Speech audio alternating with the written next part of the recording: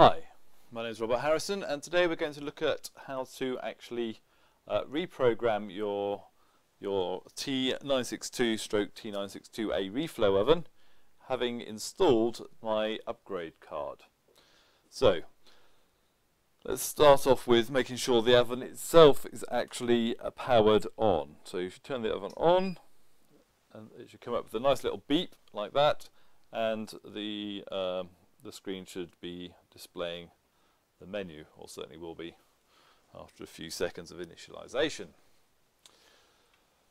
Now, make sure your computer is connected with a USB connection to the upgrade card, the micro USB um, connection on the card.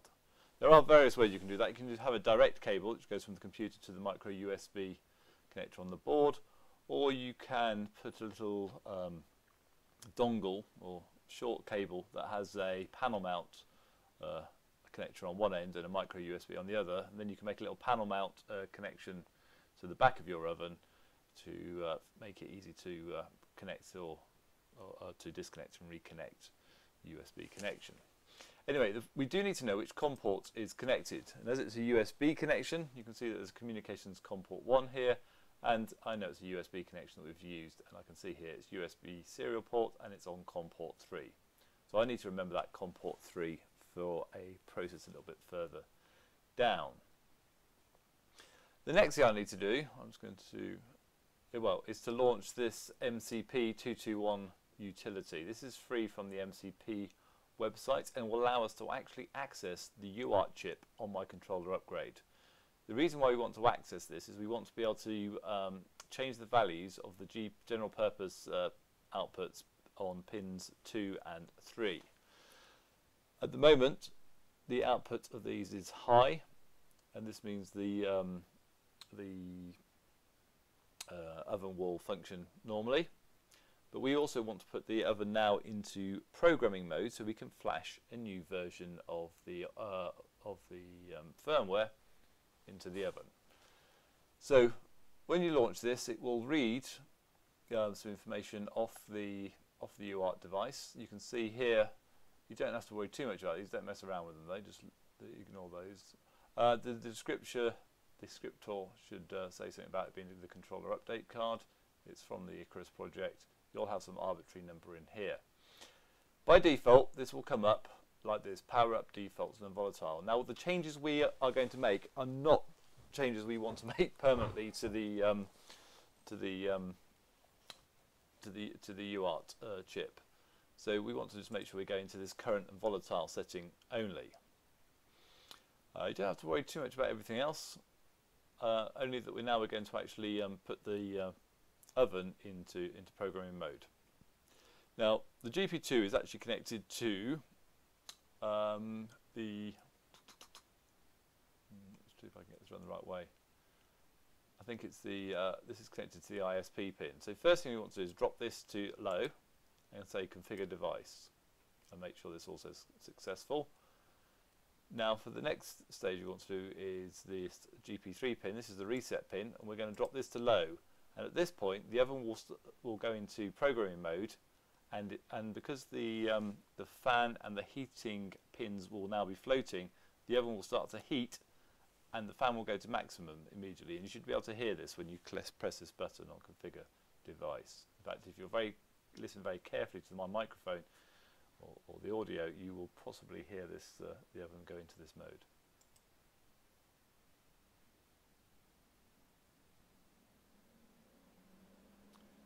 Right, we're in programming mode. I've kept quiet there just to see if you can hear that audio. I'm not sure whether it'll pick it up or not. Then the next stage is to go in reverse, set this back to high, configure device, and set this one back to high, configure device. This puts us back to where we were before.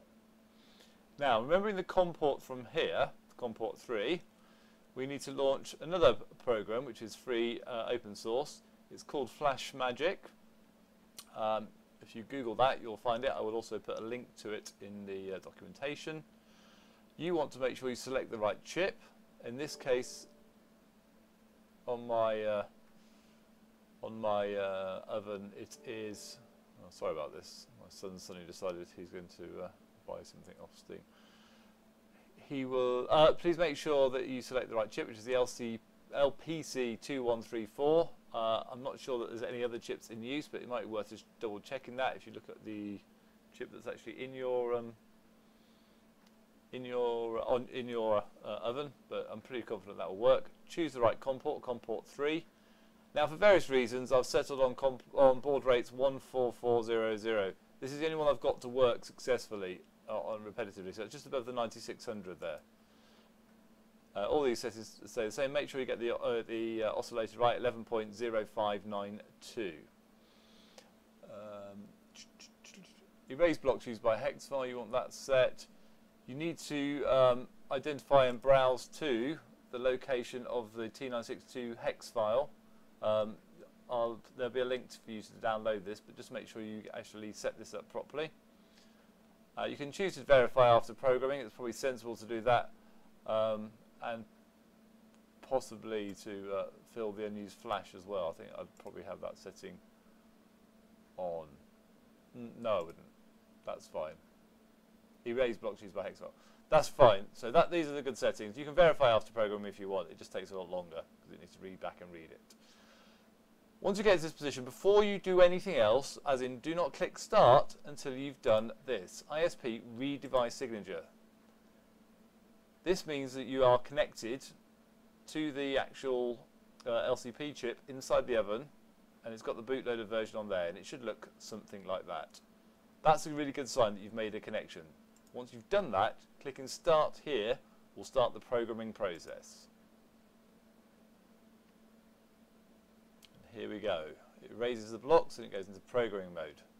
This is not a particularly quick operation. It'll take about one minute. I shall leave it up here on the screen. Let's think if there's anything else I've missed out that I should have told you. I don't think so.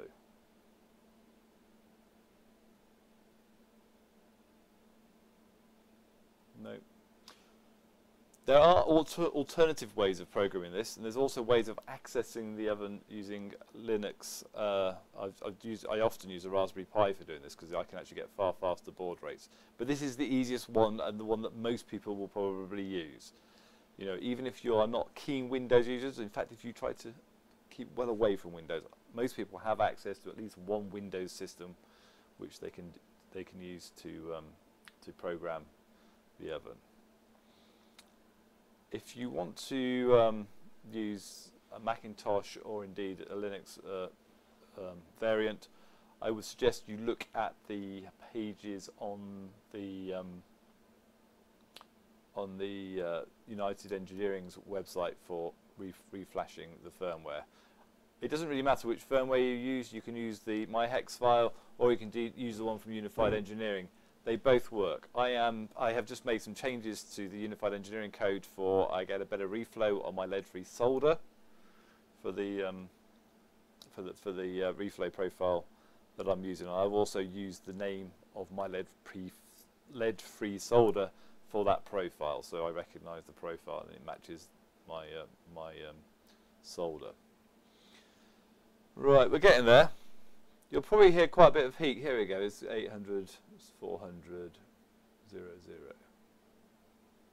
And there we go. Because I haven't done the verification stage. If you do the verification stage, it just does the whole thing backwards to verify everything. Right, at this point, you should be quite capable to um, turn off uh, the, your oven, like so, and turn it back on. You get a little beep like that, and now it should come up with a completely different operating system if you haven't already previously um, re, re, um, reflash the software. And this will be your first time you see the new so so software. And you can go check that by going to, if you press something like F1 and about, you'll get something about the version and so on and so forth. If you press F1 again, you'll get some other information. And if you press F3, you'll get some various bits of information about what's going on inside the oven, as well as being able to get cold junction information now. This is something that was missing on the original firmware. Anyway, I shall let you have a play with that and, and, and, and, and experiment. Um, So I guess the other thing we want to do is have a little look at uh, what information comes up with the oven. So we know we're still connected to COM port 3. I've got PuTTY on here, which is, you can use anything, but um, PuTTY's uh, as good as any as a terminal emulator. Now, I'm going to change this to COM port 3 because that's what we're connected to. And note the speed here. This is a serial connection at 115200. That's 115200. And that is the speed that's been set in the firmware for communication. And if you open this up, we get some gobbledygook like that. Right, I don't think we need to worry too much about that. What I'm going to do is power cycle the oven at this point. Uh, with a bit of luck, we get a little bit of information coming out here. So, what's happening? It's a quick bit of initialization uh, going on there. Reset reason, it's a power on reset and brownout device reset. Reset, I think that means.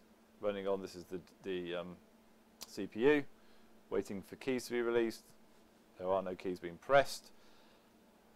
The buzzer goes beep, blah blah blah blah, and then it looks at the one wire interface. Now this is these are all the thermocouples that are actually on my board. Um, and it identifies them here 0, 1, 2 and 3 to give us four uh, thermocouples. Um, and there's no SPI connection here, so that's fine. This is what we'd expect. Now, if I turn the oven into, put the oven on and start a profile, like so, you'll start to see some information coming out on the screen. I'm just going to stop the profile now. And this gives you how long the oven's, how the, how long the profile's been running for, the temperature sensor, the values of the temperature sensors are 0, 1, 2, and 3. 0 and 1 are the existing uh, temperature sensors which come with the oven, and 2 and 3 are optional accessories you can add to the to the oven. Uh, there's quite a bit of discrepancy here at the moment because I've got two temperature sensors sort of connected to some big black mass in there, which has been heating up, and the other two are, are, are the two sensors which hang slightly higher in the oven. So I would just ignore that for the time being. Um, set point is where it's aiming to get to, which is 50 degrees. So this is well, all, all of these sensors are well over it at the moment. The actual temperature is taken as an average between these two, and it comes at 59.8. Uh, and the heat and the fan, this is the fan settings and so on and so forth. The cold junction temperature is currently at 29.1 degrees, and the mode is in reflow. I'll leave you to play with that. In fact, if you can send some uh, key sequences, I think, from here. I think put question mark for help. Yeah, if you send question mark to the uh, to the application, uh, you'll get all this information. If you want to do something about this, so if you, if you, the best thing to do is highlight the commands here, like about, and then right click and paste it, and you get a load of information there. I have no idea what that means. Well, there, it's the EEPROM content, etc you can set it to bake mode. So you can actually manually control the oven um, from here if you want. And it says, you know, it's self-explanatory. I'll leave you to go through that as well. But I just thought I'd mention that. If, so if you hit the question mark, up comes the menu. That can be useful. Right, so... Oh, so yeah, so uh, here I could do like um, and a set point, so we can uh, bake 50.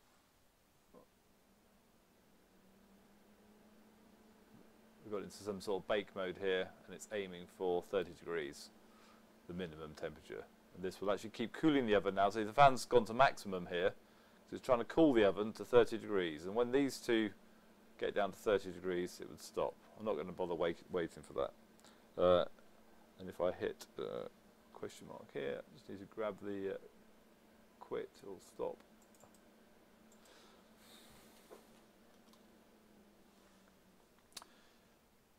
There, stopped. Right, and I think that's pretty much it really for all I need to show you here. Good luck. If this doesn't work, first of all, um, particularly this trying to identify the device. When you go down to ISP and um, read device signature, this can be very fussy. Clearly it's not going to work this time because I haven't put it into programming mode, so I'd have to go through all that high and low. But these are the sort of things you see, fail to autobaud, step one, blah, blah, blah. You need to reset this thing like we did before, set this to low, then this to low, then this to high, then this back to high, make sure it's in the current volatile mode, um, and then do this ISP bit, read the device signature, providing that works fine, click start, jobs are good. And having made sure you've put in here the location of the hex file that you want to upload. You can either use mine or Unified Engineering. I'll put a link to both in the software. Thank you very much, and uh, I hope this has been helpful for you.